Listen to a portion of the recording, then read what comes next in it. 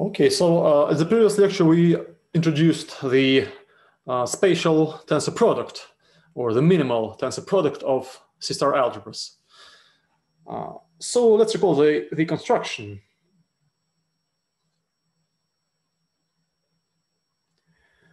Uh, suppose we have two C-star algebras, A and B.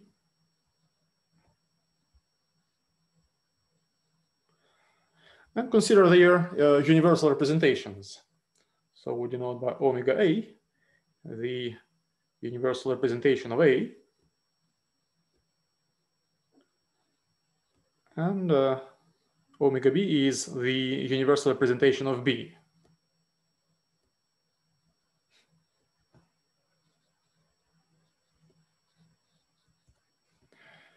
Uh, so we can form their uh, tensor product, omega A tensor omega B, uh, which is a representation of the algebraic tensor product of A and B on the Hilbert tensor product of the spaces HA and HB. Uh, and this representation is faithful uh, because the tensor product of two faithful representations is also faithful. Uh, so we can now uh, introduce uh, a C-star norm on the tensor product by taking the restriction of the operator norm uh, defined on this algebra uh, to, the, to the tensor product. So for each element u in the algebraic tensor product of A and B, we define the spatial C-star norm of u by the following equality. So this is just the operator norm uh, on uh, the tensor product of HA and HB. Uh, so the tensor product becomes uh, a pre-C-star algebra. So this is a star algebra equipped with a C-star norm. And we define the spatial uh, tensor product of A and B to be the completion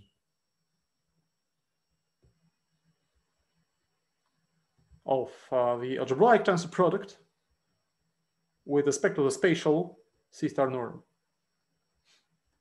And this is a C-star algebra. Uh, this algebra is also often called uh, the minimal C-star tensor product and uh, is denoted like this. And the norm is also denoted in a similar way. And the reason for that is um, uh, a theorem uh, due to Takesaki, which we didn't prove because it is quite technical, and which states that uh, this norm, the spatial norm, is in fact the smallest possible C-star norm on the algebraic tensor product.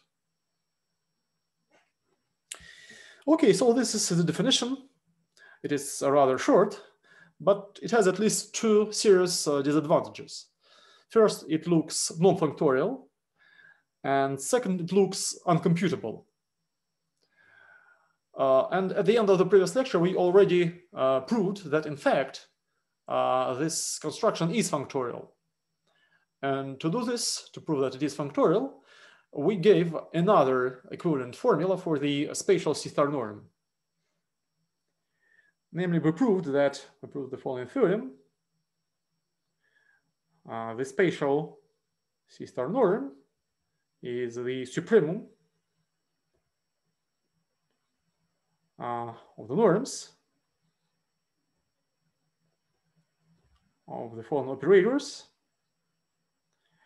uh, where pi and tau run over the families of all star representations of A and B respectively. So here pi is a star representation of A, and tau is a star representation of B.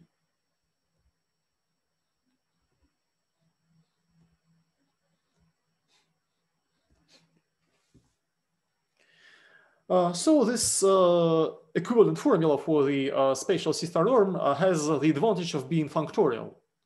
So by using this theorem, we proved uh, the following corollary. If we have two star homomorphisms between C-star algebras, say phi from A1 to B1, and psi from A2 to B2, star homomorphisms, Uh, then there exists a unique star homomorphism between their spatial C-star tensor products. So this homomorphism is denoted in the following way.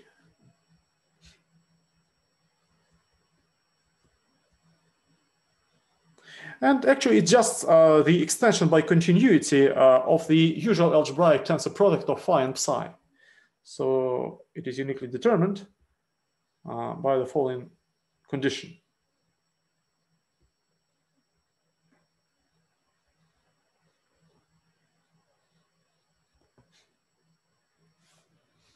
So this is, uh, in other words, this means that the uh, spatial C-star tensor product is a functor of two variables on the category of C-star algebras. Okay, um, so uh, we see that this uh, equivalent uh, formula for the uh, spatial, spatial C-star norm is functorial. But unfortunately, it is un still uncomputable. And in some sense, it is even more uncomputable as compared to the our original formula uh, because this new formula involves all star representations of A and B, which are usually impossible to describe in reasonable terms. So our first goal for today is to give a computable definition. So we have the following result. Suppose that we have an arbitrary pair of faithful representations of A and B. So suppose that pi is a faithful star representation of A, and tau is a faithful star representation of B.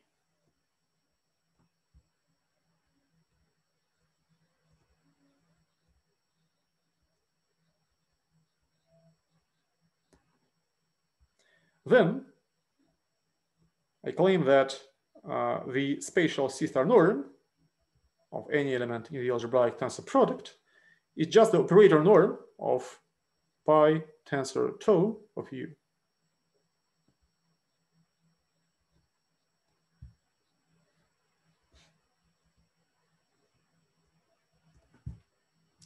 So in other words, if we compare this with our original definition for the spatial C-star norm, we see that uh, here we took uh, universal representations of A and B. And here we now we take arbitrary faithful representations of A and B, which is much more convenient because for many concrete C-star algebras, we already have a faithful, a faithful representation, uh, which is different from the uh, universal representation. So this is very useful. Uh, to prove this uh, theorem, we need a lemma from classical functional analysis.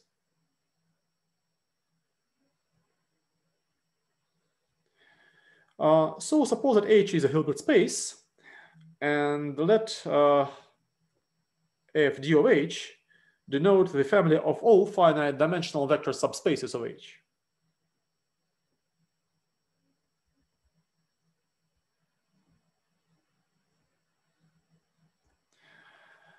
And uh, for each finite dimensional subspace of H, for each L, uh, we denote by PL the orthogonal projection.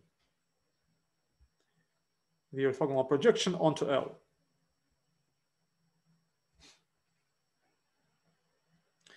I claim that uh, for each uh, bounded linear operator T on the Hilbert tensor product of H and K, we have the following formula.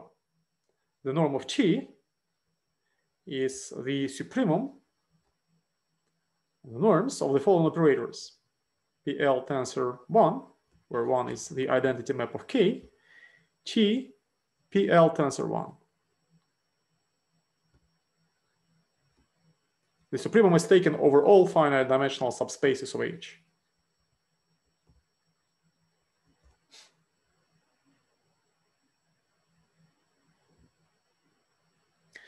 Okay, so let's prove the lemma. Uh, so we take uh, an operator T on the Hilbert tensor product. We take an arbitrary positive epsilon. And we choose a vector u, which can be chosen in the algebraic tensor product of h and k, such that the norm of u is 1, and such that uh, the norm of t of u is almost the norm of t in the sense that, um, in the sense that, let me write this in the following way, in the sense that the norm of t is less than or equal to the norm of t of u plus epsilon. So this is always possible by the definition of the operator norm and by the density of the algebraic tensor product in the Hilbert tensor product. So U is uh, an element in the algebraic tensor product, and we can write it as the following finite sum from 1 to n. Uh, let's now observe the following. We observe that for each element uh, V in the Hilbert tensor product of H and K, uh, we have the following convergence. PL tensor 1 applied to V converges to V, where uh, we, uh, the convergence, this is the convergence of, of the respective net. So PL, uh, L runs over the family of all finite dimensional subspaces of H, which is uh, a partially ordered directed set. So the order relation is just the inclusion. Uh, and uh, this net converges to V for each V. Why is it so? Well, this is uh, indeed the case uh, because uh, this is obviously true for simple tensors.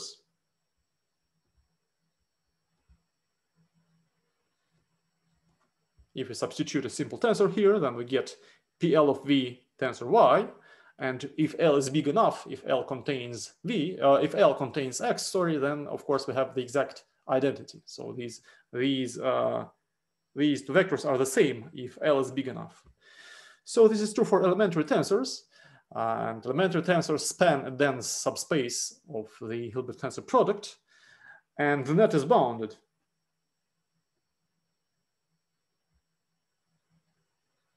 This net is bounded, obviously, because the norm of the orthogonal projection is one.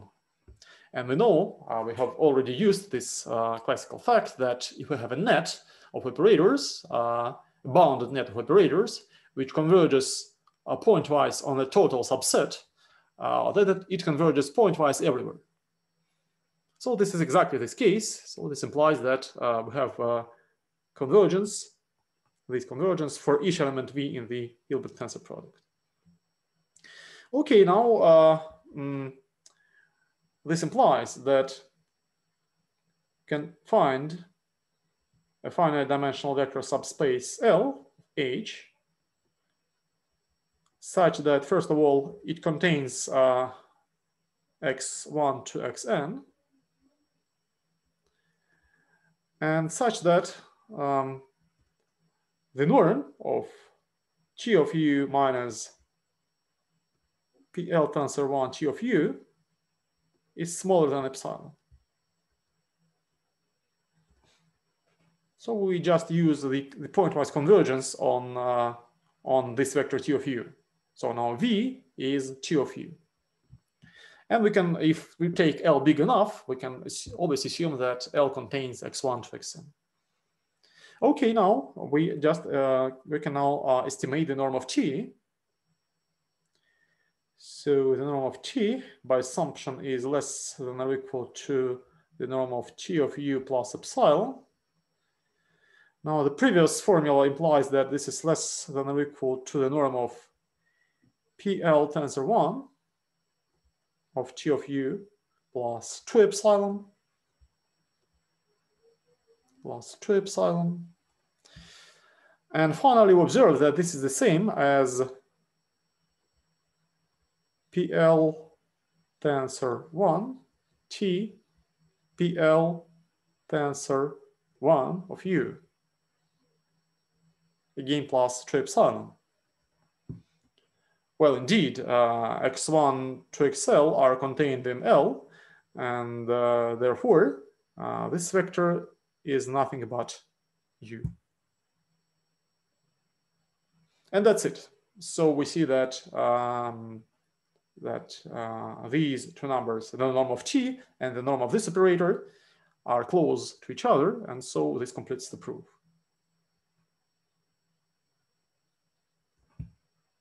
Okay, so this is our lemma. And now let's apply this lemma to, to our theorem. So that's a recall that we want to show that uh, the uh, C star, um, the spatial C star norm of U is given by the following formula.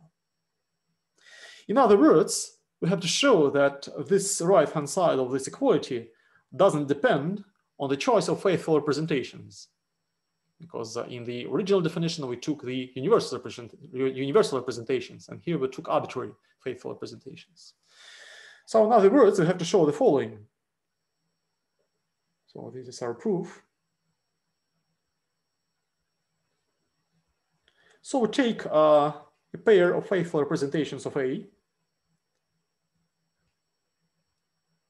So let pi and say um, pi prime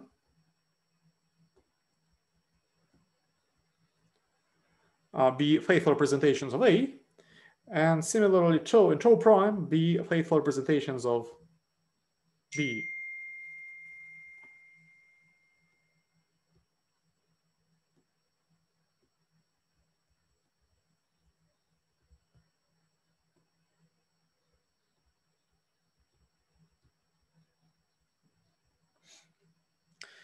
Uh, so each uh, pair, uh, um, pi and tau or pi prime and tau prime determines a norm, a C star norm on the uh, algebraic tensor product.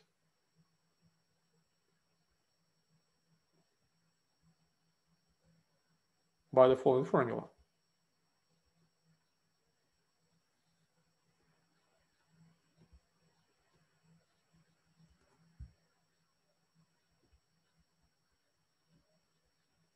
So we want to show that this number doesn't depend on the choice of pi and tau. In other words, we want to prove the following equality.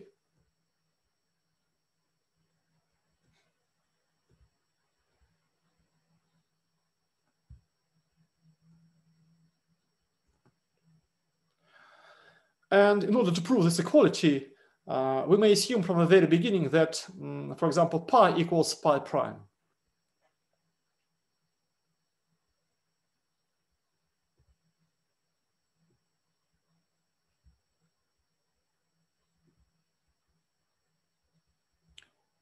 Well, indeed, just uh, if we want to move from pi prime tau prime to pi tau, we first change pi prime.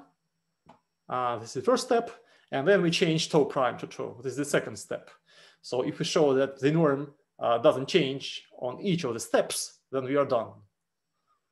So for uh, convenience, we, we will show that the, the norm doesn't change when we change the second representation tau.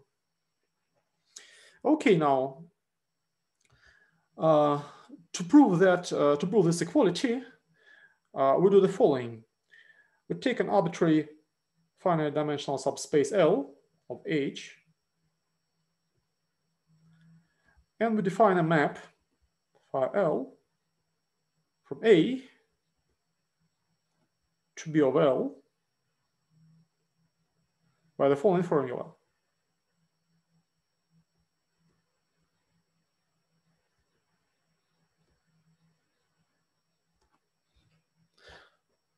Of course, I don't claim that this is an algebra homomorphism. In general, it is not an algebra homomorphism.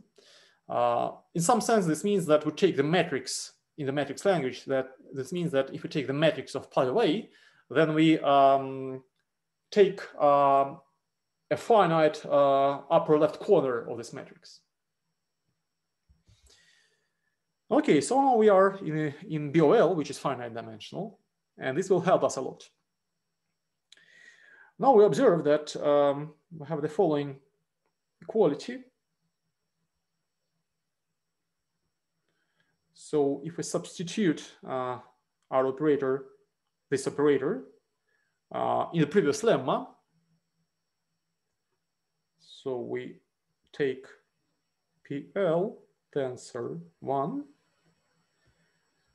Now we substitute here by tensor tau of U.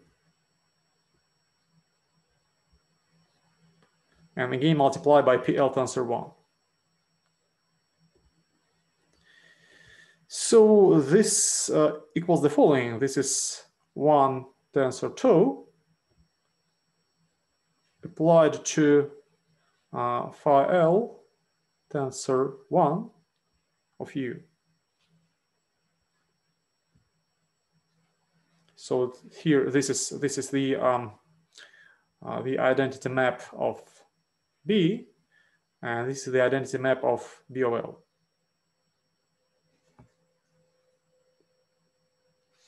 This is um, almost obvious. We just to, to check this formula, we just substitute here an elementary tensor. If U is A tensor B, then both sides will be equal to uh, mm, the tensor product of pi L P of A pi L, that is uh, uh, this operator, and the tau of B. So, and since they are the same on elementary tensors, they are the same by linearity, they are the same on for each element U in the algebraic tensor product. Okay, um, so now we have, let's look at the following picture. So we take the tensor product of B of L and B and B. So this is the algebra in which uh, in which uh, this element sits. And we have tau representations of this algebra. The first one is uh, um, one tensor two, and this uh, representation acts to be of L tensor K. And the second one is uh, one tensor tau prime, which acts to be of L tensor H to L tensor K prime.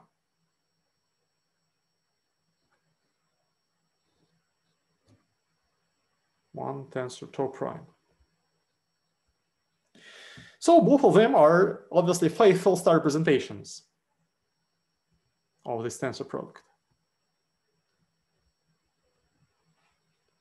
I claim that we have the following equality. For each element V in this tensor product of B of L and B, uh, we can apply the first representation to V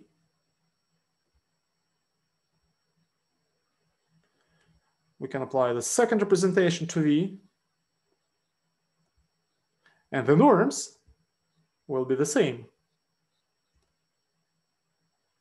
Why are they the same? They're the same because uh, L is finite dimensional. And we know that, um, so B of L tensor B is nothing but the tensor product by the matrix algebra, Mn. And we already know that there is a unique C star norm on this tensor product. And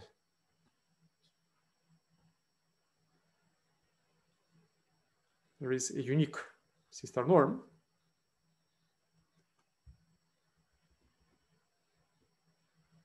on this tensor product. So uh, this formula and the left-hand side of this formula and the right-hand side for, of this formula determine uh, two C-star norms on the tensor product. And by uniqueness, they are equal to each other. Okay, now we uh, come back to our calculation. So we use our lemma. And we see that uh, uh, the norm of uh, the norm u pi tau.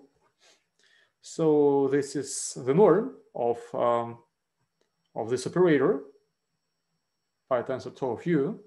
So by lemma, this is equal to the norm, to the supremum of the norms of these operators, by lemma, or equivalent to the supremum of the norms of these operators. Let's write this down. Uh, so this is the supremum over L. As before, L runs over all finite dimensional subspaces of H of uh, what? Uh, let's look here. Of this expression, one tensor tau, one tensor tau applied to phi tensor 1 of u.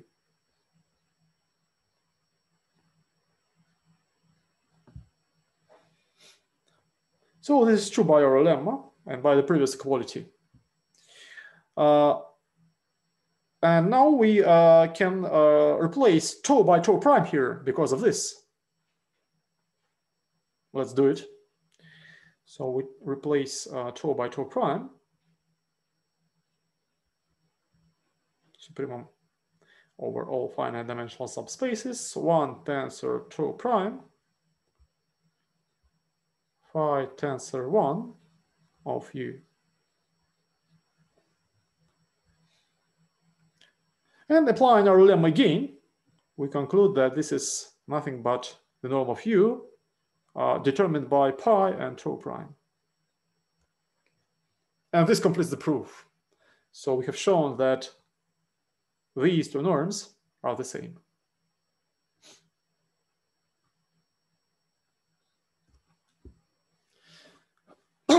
okay, so um, let's now apply our theorem uh, to showing that, um, to describing um, spatial C-star tensor products of concrete, of concrete uh, C-star algebras.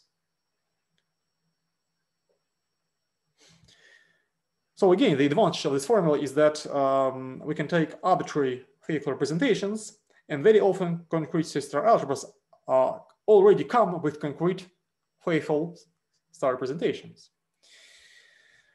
Uh, corollary one, corollary one, suppose that we have two C-star subalgebras of, say, B of H and B of K. Two C-star subalgebras. then their spatial C-star tensor product is nothing but the closure of the algebraic tensor product in the algebra of bounded operators on the Hilbert tensor product of H and K. So here we have we assume that this algebraic tensor product is canonically embedded into the b of h tensor k. And after we take a closure, we take the we get the uh, spatial C-star tensor product. In some sense, this corollary explains why the spatial C-star tensor product is so called. So it is determined by by the spaces uh, h and k, and by uh, embeddings of a and b into the respective algebras of operators. Okay, um, let's now apply this corollary to to the following concrete example, corollary two.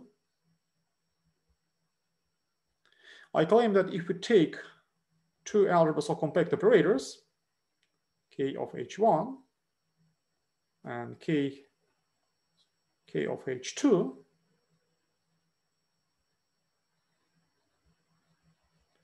then their spatial C-star tensor product is nothing but the algebra of compact operators on the Hilbert tensor product of H1 and H2.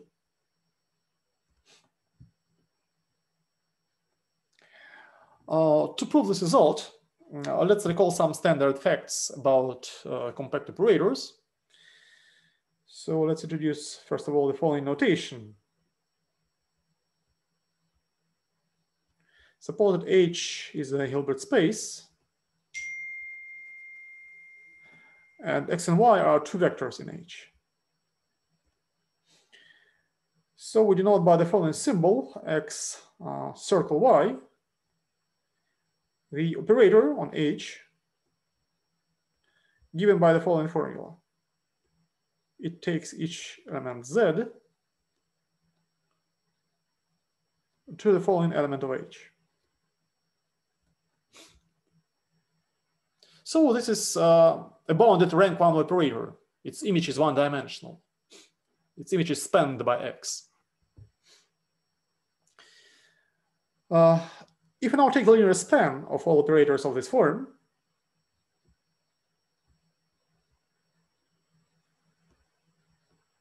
so here x and y run over h, then what we get is nothing but the uh, space of all bounded finite rank operators.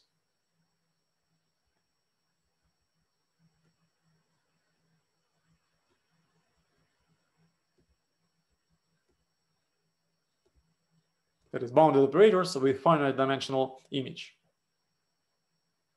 This is simple exercise. So each bounded finite rank operators can be written as a finite sum of such operators of the form x circle y.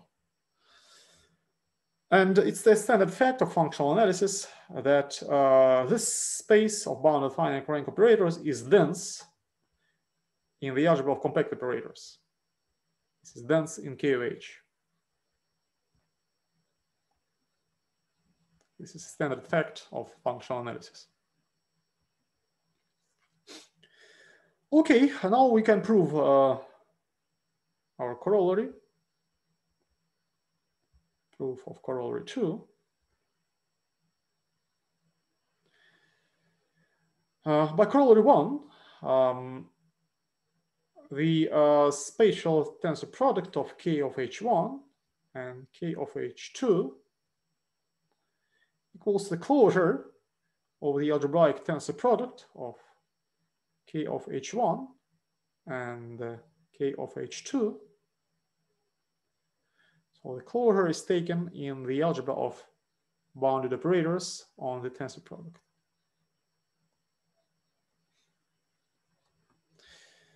Uh, we now use the above fact, and by using this fact, we can replace in this formula uh, the compact operators by bounded finite rank operators because they are dense and we already have the closure here. So we continue this equality as follows.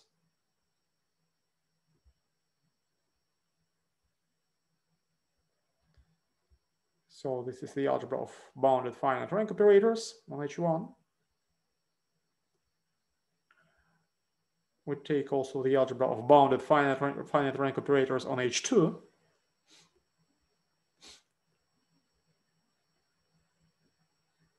We take the tensor product and we take the, again the closure in the algebra of bounded operators. Okay, now uh, let's write this in a different way. uh, it's easy to see that uh, if you take uh, the tensor product of this operator and this rank one operator, then the result will be the respective rank one operator corresponding to elementary tensors x1 tensor y1 and y, oh sorry, x1 tensor x2 and y1 tensor y2.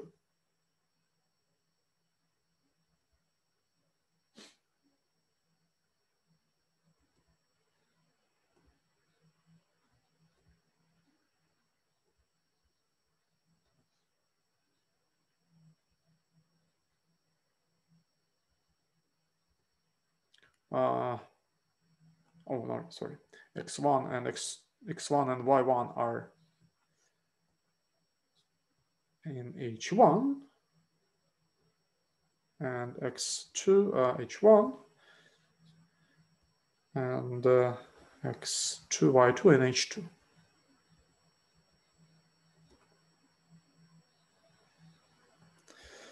okay and finally uh, let's observe that um, all elements of this form, x1 tensor x2, uh, they span a dense subspace in H1, uh, in H1 tensor H2, in the Hilbert tensor product. And the same is true for the second element. So these elements also span a dense subspace in H1 tensor H2. So because we have we take the closure here, we can replace uh, this elementary tensor by an arbitrary element in the tensor product, so xi and eta or xi and eta run over the Hilbert tensor product.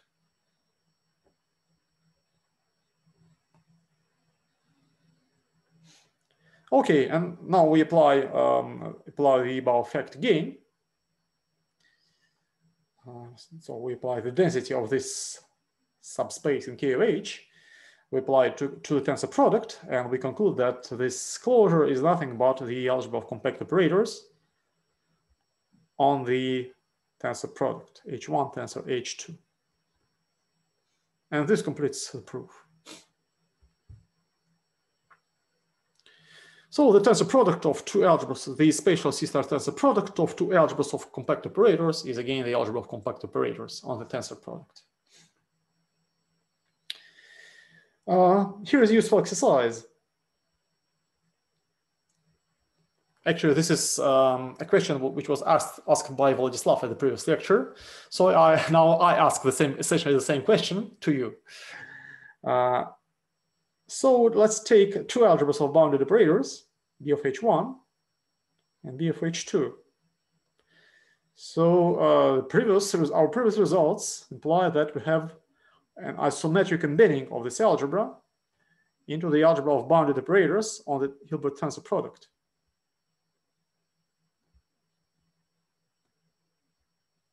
This is an isometric embedding. So the question is, is it surjective?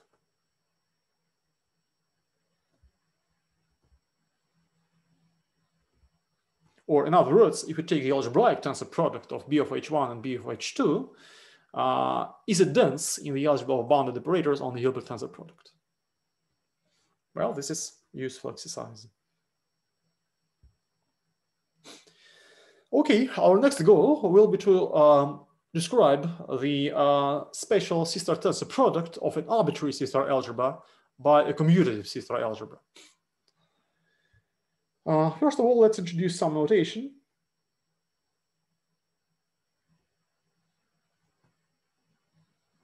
Suppose that X is a locally compact Hausdorff topological space.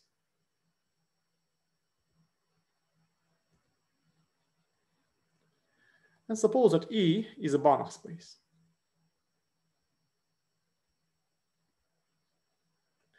We denote by C0 of xy the space of those continuous maps from f from, from x to e, which vanish at infinity, in the sense that their norm, the function which takes the function which takes f to the norm of f of x, vanishes at infinity.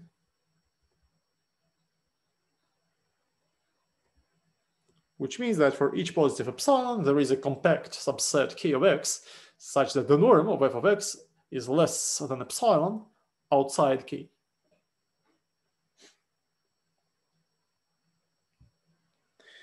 Uh, we have the following uh, useful exercise. First of all, I claim that C0 of, of XA is a Banach space. This is a Banach space uh, with respect to the uniform norm, the supremum norm.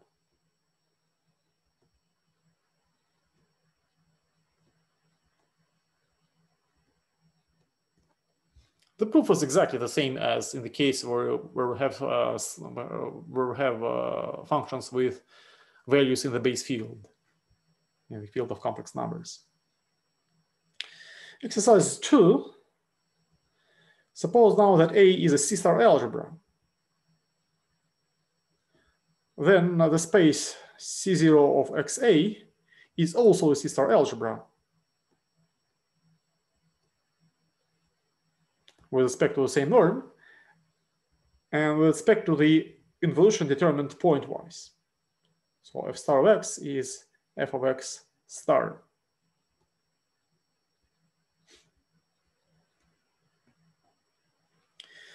Oh, this is also elementary. And finally, exercise three. Again, for each Banach space E, we consider we can consider the following map from the algebraic tensor product of C of x and E, C0 of x and E, uh, to C0 of xe. So this map is uniquely determined by the following formula. If f is f tensor v is an elementary tensor, uh, well, let's denote this map by phi. Phi. And uh, this map takes each elementary tensor, uh, f tensor v, to the function given by the following formula.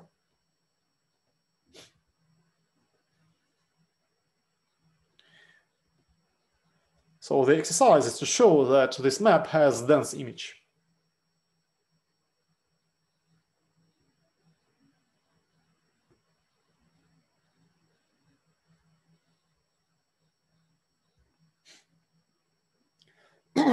Well, maybe this is not entirely trivial, so I'll give a hint. The hint is to use partitions of unity.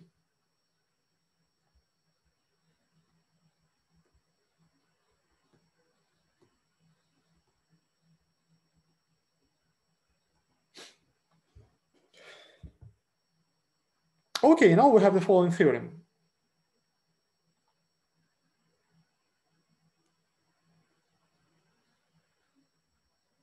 Suppose that X is a locally compact Hausdorff topological space.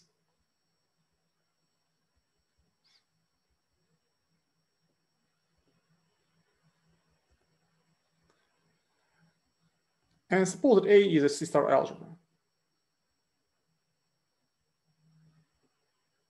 Then there exists an isometric star isomorphism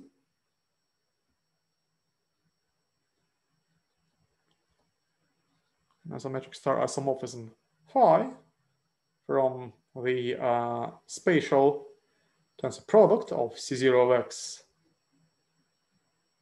and A to the algebra C0 of xa uh, uniquely determined by the following equality.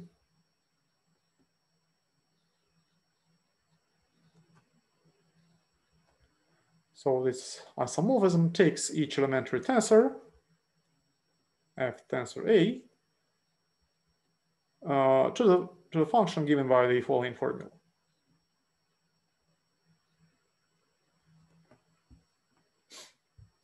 So in other, in other words, if we look at the previous exercise, so this is actually the map from part three of the previous exercise, which is defined on a dense, um, which is defined on the algebraic tensor product. So our theorem states that if we uh, have an arbitrary C-star algebra A, then this map uniquely extends from the algebraic tensor product to an isomorphism between the spatial C-star tensor product of these algebras and the algebra C0 of XA.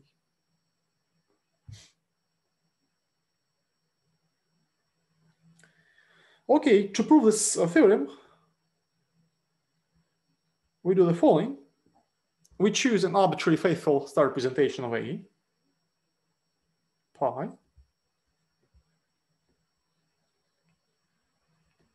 An arbitrary faithful star representation.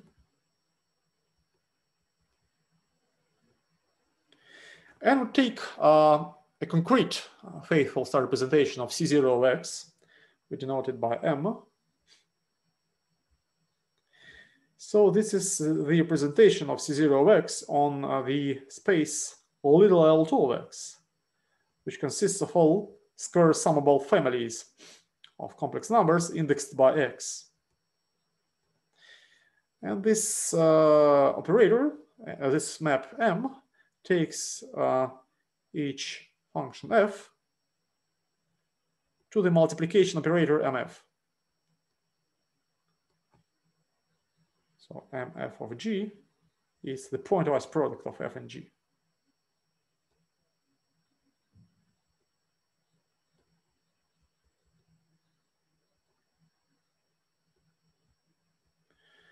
So it's easy to see that M is a faithful star representation of C0x.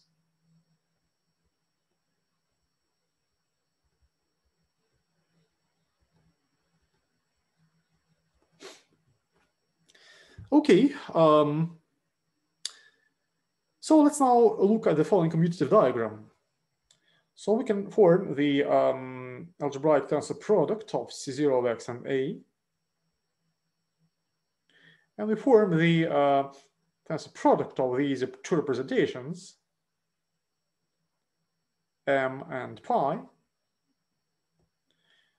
And this will be the representation of this algebra on the Hilbert tensor product of little L2 of x and h. So by our previous theorem, this uh, representation will be isometric if we equip the algebraic tensor product with the spatial C star norm. now we can complete this picture as follows. So first I uh, draw the ingredients and then I explain them. So this is phi, which acts from this tensor product to C0 of XA. So this is precisely the map phi, which is, was defined in the previous exercise. And we already know that it has dense image. Um, here we have a unitary, uh, an isometric star isomorphism induced by uh, certain unitary isomorphism between the Hilbert tensor product of these spaces and the space of uh, little L2 of xh of all square summable families of elements in H indexed by X.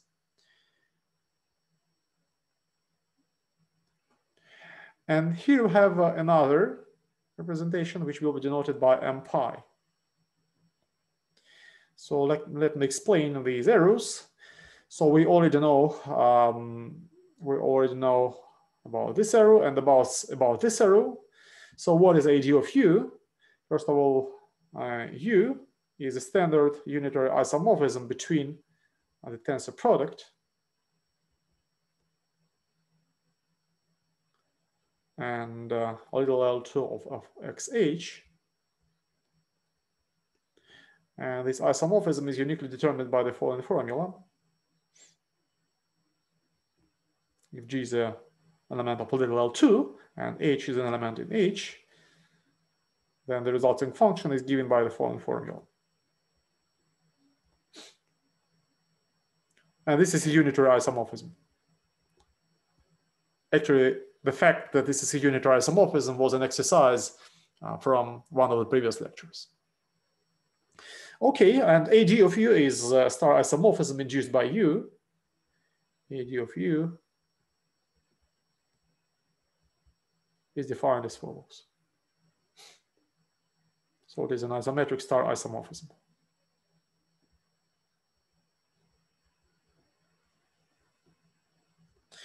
Finally, I have to explain what m pi is.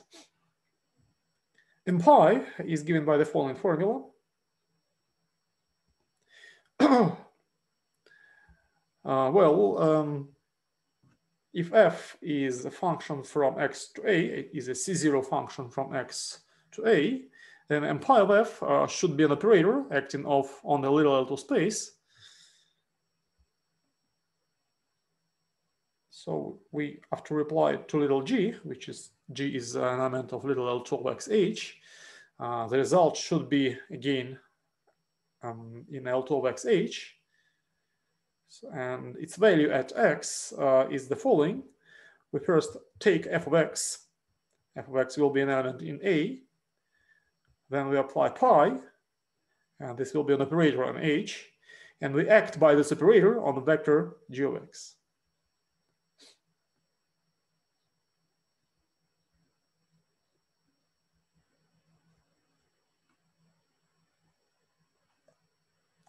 Uh, is uh, in the little L2 space.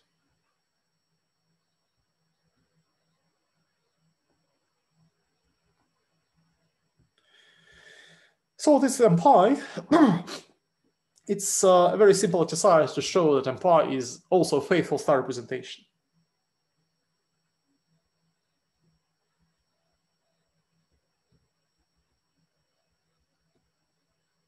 So it's a faithful star representation, hence it is also isometric.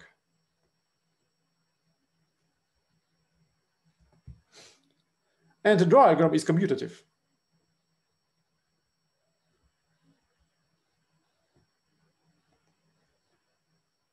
This is also straightforward. So now we see that in the diagram we have uh, um, an isometric star homomorphism M tensor pi, which is isometric with respect to the spatial C star norm here. Phi is, well, we know, we, know, we know nothing about phi, but we know that M pi is an isometry and AD of U is an isometric star isomorphism.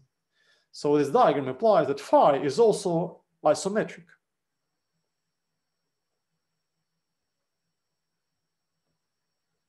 If we equip the algebraic tensor product with a spatial C star norm, then phi becomes isometric.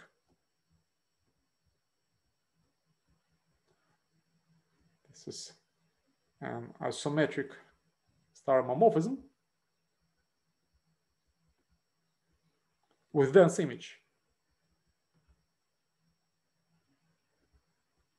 The density of the image is uh, our previous exercise.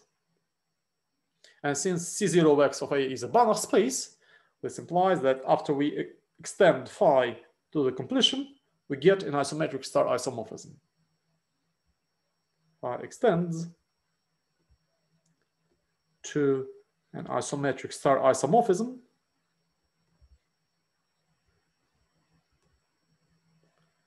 between the uh, spatial tensor product of C0 of x and A and the algebra C0 of x A. And this completes the proof.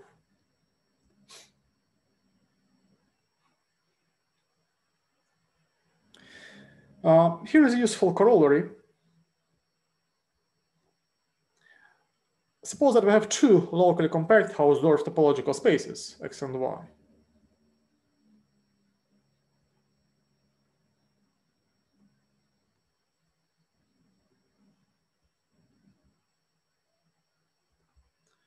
Then uh, there exists an isometric star isomorphism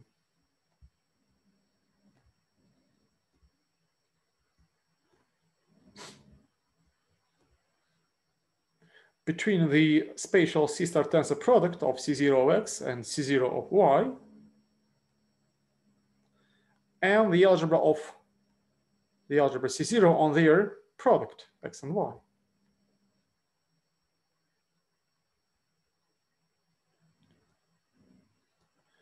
And this isomorphism takes each elementary tensor, say mm, F tensor G,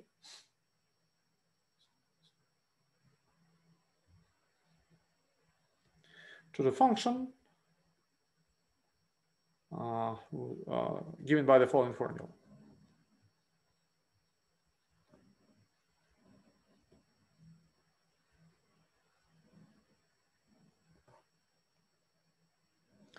So to prove this corollary, we apply mm, our previous theorem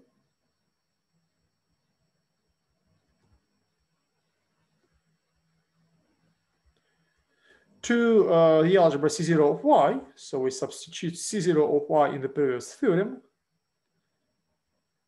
and use the following isomorphism. Use the isomorphism between uh, C0 from x to C0 of y and the algebra C0 on their product. And it's a little, a little exercise to show, to prove this isomorphism. So we, when we combine our theorem with this isomorphism, we get uh, the result. This is a little exercise in general topology. Okay. Okay, so so far we discussed the uh, spatial or the minimal C-star tensor product. Our next goal will be to discuss briefly another C-star tensor product, namely the maximal tensor product of C-star algebras.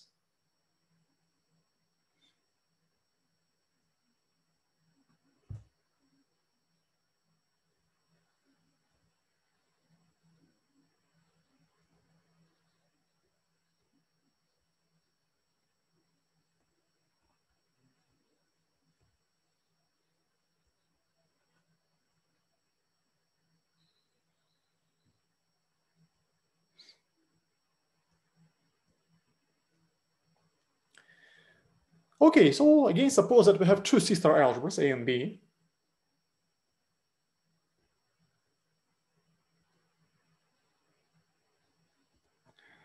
And let's recall once again one of the definitions of their uh, spatial C-star tensor product.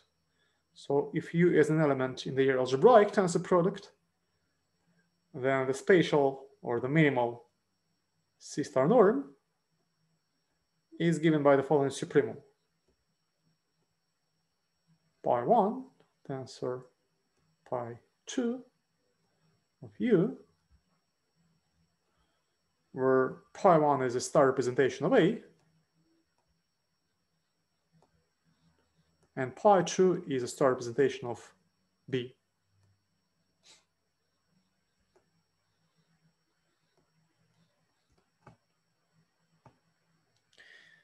We now define another C-star norm on the tensor product as follows. The maximal C-star tensor norm is again a supremum uh, taken over all representations of the algebraic tensor product. Your pi runs over the family of all star representations of the algebraic tensor product.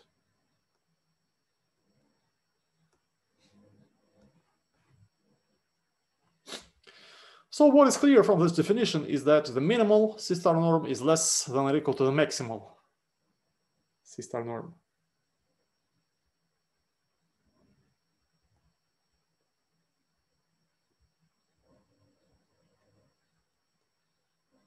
For the simple reason that here we have, here we consider all representations of, on the algebraic tensor product.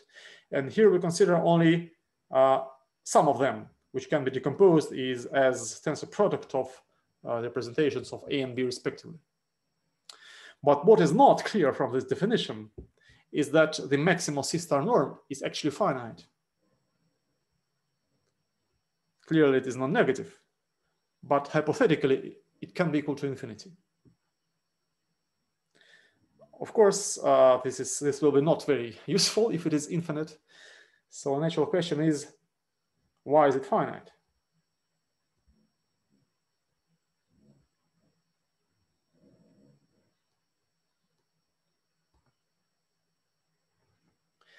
Uh, to answer this question, let's introduce some notation.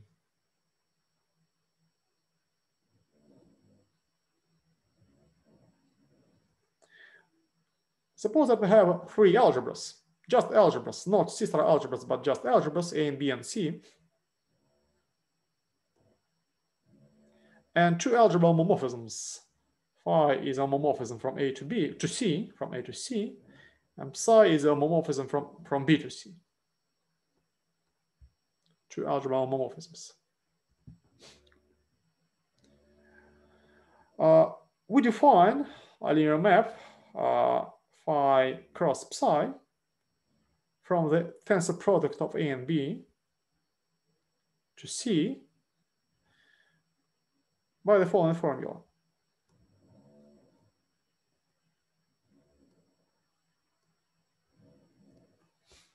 So we define it on elementary tensors, but uh, by the universal property of the algebraic tensor product, it uniquely extends to the algebraic tensor product of A and B. So this is a linear operator, a linear map from the tensor product to C. Of course, I don't claim that it is always an algebra homomorphism. So we introduce the following, we give the following definition we say that phi and psi commute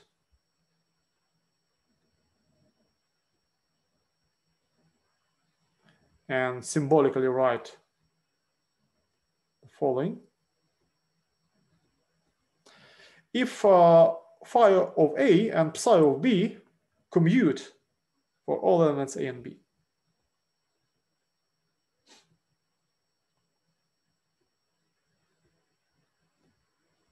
for all A and B.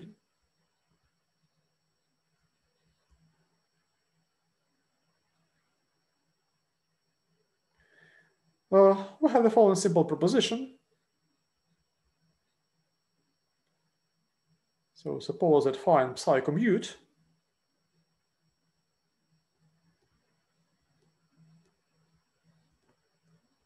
Then in this case, the map phi cross psi is an algebra homomorphism.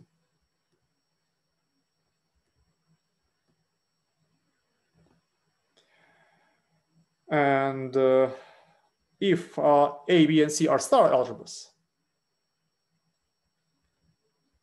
if A, B, and C are star algebras, and phi and psi are star homomorphisms,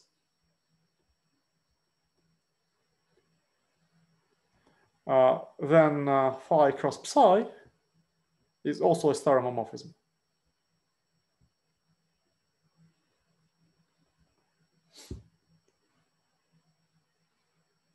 The proof is straightforward, so this is an exercise for you.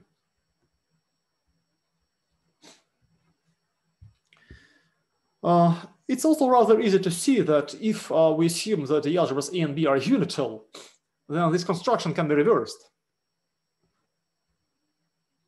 So we have the following observation.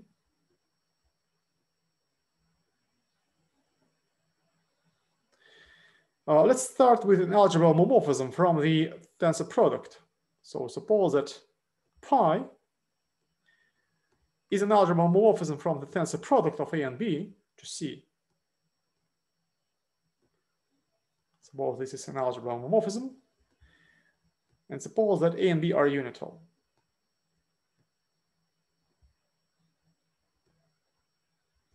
In this case, when we can define a pair of homomorphism from A to C and from B to C, we define phi from A to C and psi from B to C uh, as follows. Phi of A is pi applied to A tensor 1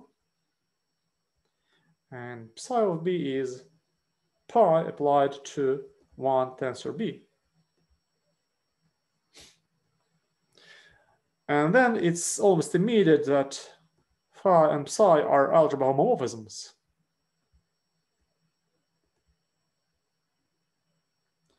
Uh, they commute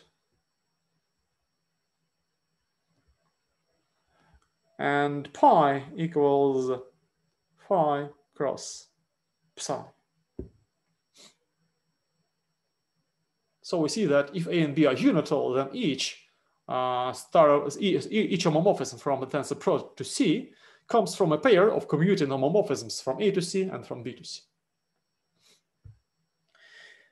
It turns out that um, uh, this observation can be extended to arbitrary, that is not necessarily unital A and B, provided that A and B are C-star algebras, and C is uh, the algebra of bounded operators on a Hilbert space. In other words, we have the following theorem. Suppose that A and B are C-star algebras. And suppose that pi is a non-degenerate star representation of their tensor product. Non-degenerate star representation. Then there is a unique pair, a unique pair, pi A and pi B of non-degenerate star representations of A and B respectively, such that they commute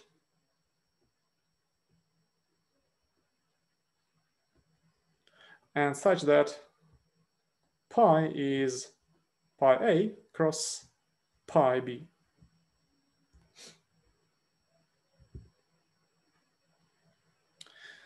Well, uh, if you don't mind, I, will skip the proof.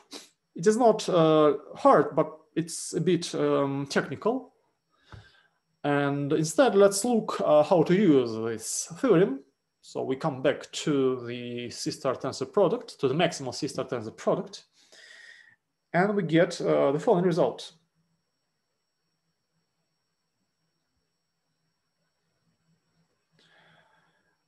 So again, suppose that A and B are C-star algebras.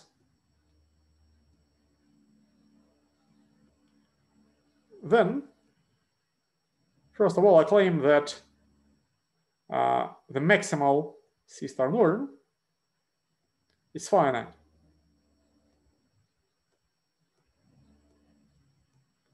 So it is indeed a C star norm on the tensor product.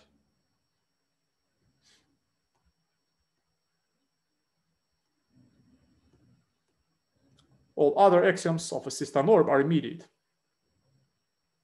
What is not immediate is that it is finite.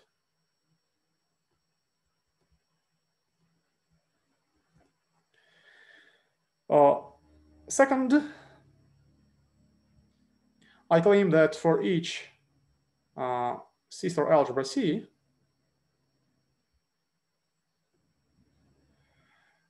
and for each star homomorphism, for each star homomorphism phi uh, from the algebraic tensor product of A and B to C,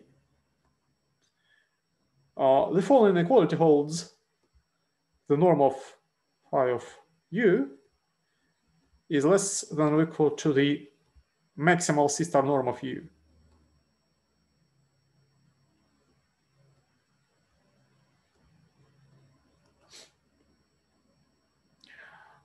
Part three, uh, which explains why the maximal C star norm is so called, I claim that this is the largest C star norm.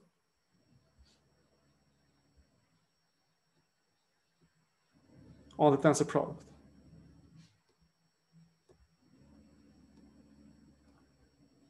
on the algebraic tensor product.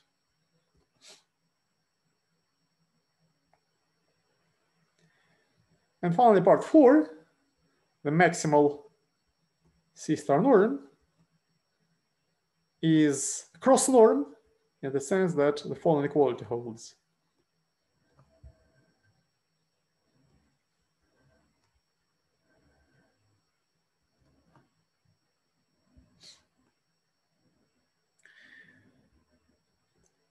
Okay, let's now prove this.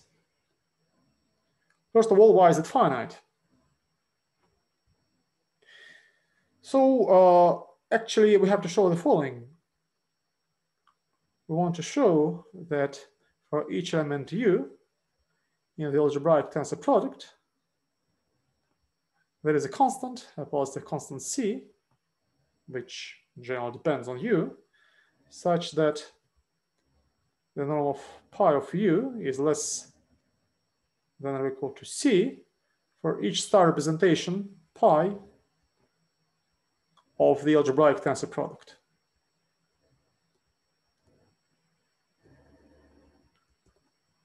So the existence of such a constant means precisely that the maximal C star norm is finite. Okay, um, so to prove this, we may assume from the very beginning that pi is non-degenerate.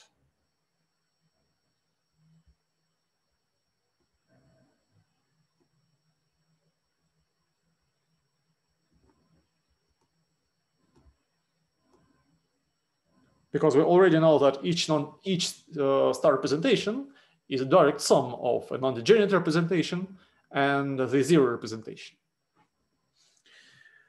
Uh, now, the previous theorem implies that in this case, uh, pi comes from a pair of a commuting pair of representations of A and B respectively.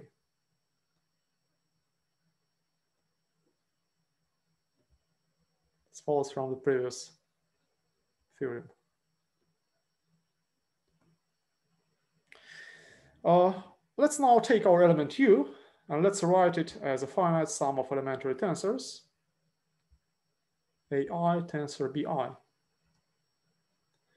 Then uh, we can estimate pi of u as follows. So since pi is pi a cross pi b, this will be the sum of pi a of ai, uh, pi b of bi. And now we use the triangle inequality and the fact that pi a and pi b are contractive. So that is the norm of pi a and pi b is one. So this can be estimated as the following sum. And this is our constant. It doesn't depend on, on pi. Okay, so this completes the proof of part one. Uh, and Uh, now to prove part two, we observe that part two is clear from the definition of the maximal C-star norm, provided that C is the algebra of bounded operators on a Hilbert space. So part two is clear if B, if, if C is the algebra of bounded operators on some Hilbert space H. This follows from the definition. And in the general case, we simply apply the second Gelfand-Naimark theorem.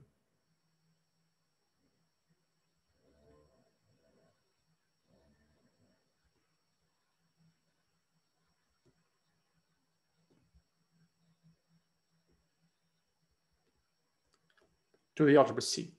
So C is isometrically embedded in B of H, and everything is reduced to the case where C is exactly B of H. Okay, part three. We want to show that the maximal C star norm is indeed the largest C star norm on the algebraic tensor product. Okay, let's now take an arbitrary C star norm. Suppose that we have a C star norm on the tensor product.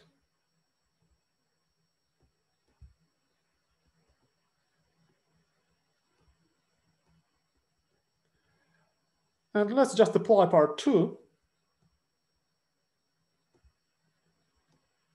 to the um, embedding of, um, well, let's um, introduce some notation for the completion. So let's see, uh, denote the completion.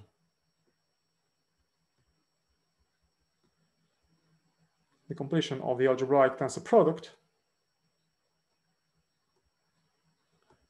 with respect to this norm. And now to prove part three, we apply part two to the inclusion of A tensor B to C. So by part two, uh, this um, map uh, doesn't uh, increase uh, the norm if we equip A tensor B with a maximal C star norm. But this means exactly that this arbitrary C star norm is less than or equal to the maximal C star norm. Okay, and finally part four, we want to show that the maximal star norm is a cross norm in the sense that this equality holds. Again, uh, to prove this, we take an arbitrary non-degenerate star representation.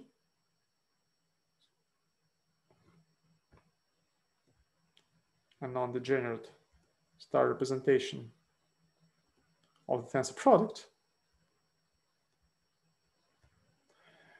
Uh, we apply pi to A tensor B. So we know from the previous theorem that pi is pi A cross pi B. So this will be pi of A, pi of B.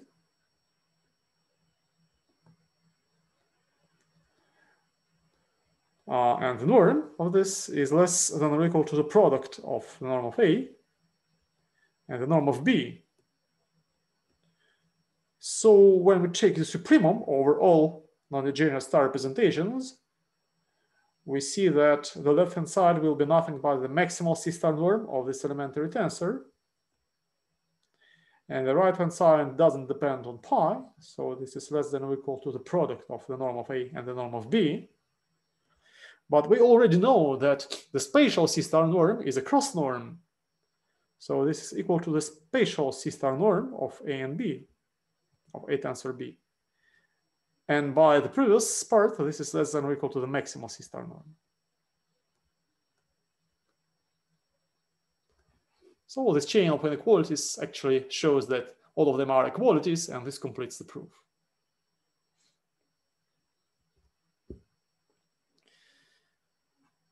So the maximal C-star norm is indeed a C-star norm.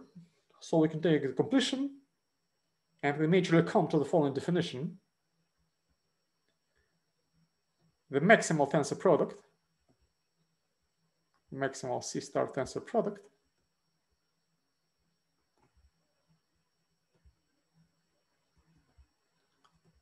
of A and B is uh, the completion of the algebraic tensor product with respect to the maximal C star norm.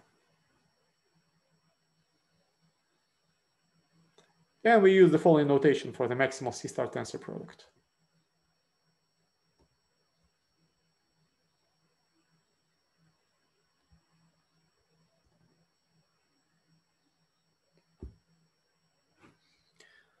Uh-huh, okay, I see that it's time to finish.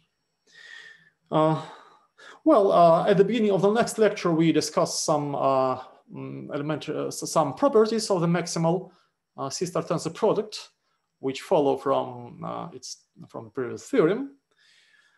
and we compare the maximal and the minimal C-star tensor products.